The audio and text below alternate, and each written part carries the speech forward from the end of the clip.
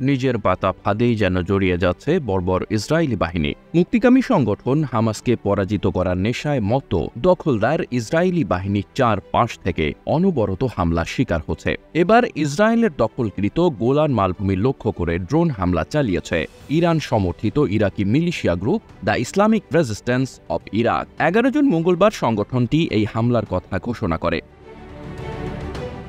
ফিলিস্তিনে নিরীহ মানুষের ওপর জায়ানবাদী ইসরায়েলি বাহিনীর আগ্রাসনের জবাব হিসেবে গোলান মালভূমিতে অবস্থিত দেশটির সামরিক স্থাপনায় হামলা চালানো হয়েছে বলে জানায় the Islamic resistance of Iraq. ইরানি সংবাদ মাধ্যম প্রেস টিভি জানিয়েছে, ইরানে তৈরি কামিকাজে ড্রোনের মাধ্যমে গোলান মালভূমিতে এই হামলা চালানো হয়েছে। তবে এই হামলায় কোনো ক্ষয়ক্ষতির খবর পাওয়া যায়নি।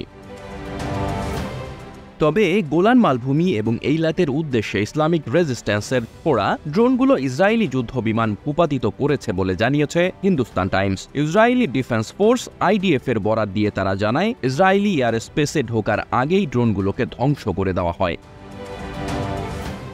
প্রসঙ্গত দক্ষিণ পশ্চিম সিরিয়ার একটি পাথুরে মালভূমি হচ্ছে এই গোলান। এর আয়তন এক হাজার আটশো বর্গ কিলোমিটার ইসরায়েলের উত্তর প্রান্তে অবস্থিত সিরিয়ার এই অঞ্চলটির প্রায় এক হাজার দুশো বর্গ কিলোমিটার এলাকা। উনিশশো সাতষট্টি সালে আরবদের সঙ্গে ছয় দিনের যুদ্ধে দখল করে নেয় ইসরায়েল। দখলের পর থেকেই গোলান মালভূমিতে ইসরায়েল বড় ধরনের সামরিক উপস্থিতি বজায় রেখেছে। সামরিক এবং কৌশলগত কারণে গোলান মালভূমির গুরুত্ব অপরিসীম। এই গুরুত্বের বাইরেও ওই এলাকা মিঠা পানির প্রধান উৎস। ইসরায়েলে ব্যবহৃত মিঠা পানির তিন ভাগের প্রায় এক ভাগ যোগান দেয় গোলান। গত সাত অক্টোবর ইসরায়েলের অভ্যন্তরে হামাসের মুক্তি সংগ্রাম আরম্ভের পর প্রতিশোধ পরায়ণ হয়ে গাজায় নির্বিচারে মানুষ হত্যা চালিয়ে যাচ্ছে। বর্বর ইসরায়েল, এতে ক্ষুব্ধ হয়ে লেবাননের হিজবুল্লাহ, ইয়েমেনের হুথি বিদ্রোহীরা সহ মধ্যপ্রাচ্যের বেশ কিছু সশস্ত্র সংগঠন ইসরায়েলের বিভিন্ন স্থাপনা লক্ষ্য করে হামলা পরিচালনা করছে। এবার সে তালিকায় যোগ দিয়েছে ইরাকের ইসলামিক রেজিস্ট্যান্সও।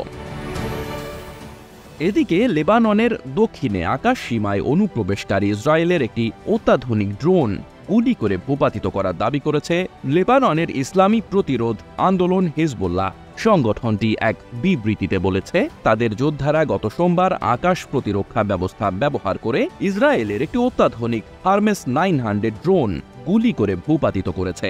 ড্রোনটি লেবাননে হামলা চালানোর জন্য ক্ষেপণাস্ত্র বহন করছিল বলে বিবৃতিতে জানানো হয়। ইসরায়েলি সামরিক সূত্র বিষয়টি নিশ্চিত করেছে। দক্ষিণ লেবাননের আকাশ সীমায় তাদের একটি ড্রোন ভূপাতিত হওয়ার খবর নিশ্চিত করে তারা বলেছে, ভূমি থেকে আকাশে নিক্ষেপযোগ্য একটি ক্ষেপণাস্ত্র ব্যবহার করে ড্রোনটি ধ্বংস করা হয়েছে।